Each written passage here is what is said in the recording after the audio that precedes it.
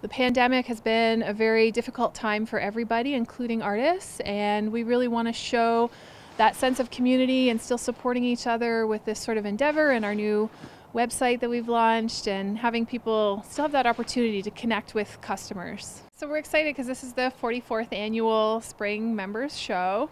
Um, and our top priority is just for everyone to be safe, both the artists, the patrons, and visitors. So it's kind of exciting that they still get to experience the show through our new website that we have. Um, and they can shop the show from the comfort of their own home. And we have a lot of um, diversity in the um, exhibitors and what they're showing this year painting, ceramics, pottery, textiles, uh, woodworking. I myself really am inspired by the Muskoka landscape and in the last couple years I've been working on uh, some semi-abstract landscape pieces, two-dimensional works uh, with acrylic paint and I'm excited to see uh, how people react to all the work that we have to offer for the Spring Members Show.